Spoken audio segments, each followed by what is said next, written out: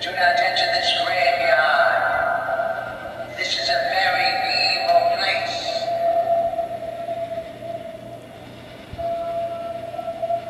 Beware. The spirits don't mind.